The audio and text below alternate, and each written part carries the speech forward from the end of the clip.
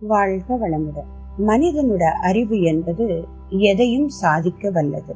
ஆனால் எல்லா விதத்திலும் வெற்றி பெறணும் என்பது மனிதனுடைய விருப்பம். அதற்கு ஒவ்வொரு மனிதனிடமும் என்ன குணம் இருக்கணும்? விடாமுயற்சி பகுத்தறிவு கடின உழைப்பு.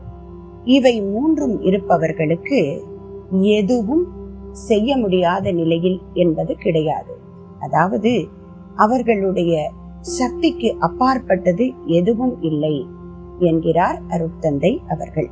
மூளை காய்ச்சல் குணமாக ஒரு வழி திருநீற்று பச்சிலை சாறு தும்பை இலை சாறு கற்பூரம் சிறிது சேர்த்து மூக்கில் உறிஞ்ச மூளை காய்ச்சல் குணமாகும். வாழ்க வளம்